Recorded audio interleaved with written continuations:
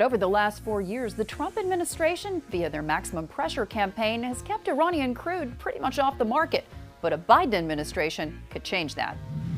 When you think about the flashpoints in the region, what comes to mind immediately for you? Number one is, of course, what happens with Iran. So you've got Iraq, you've got Lebanon, Syria, where the Iranians really are beyond flexing their muscles. They have their proxies on the ground and want to make sure that they're able to continue that presence there.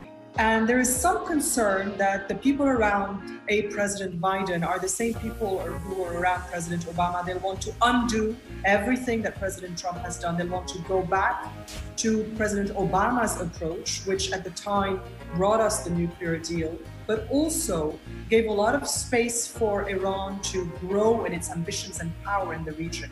So there's some fear that we could see a repeat of that. Ultimately,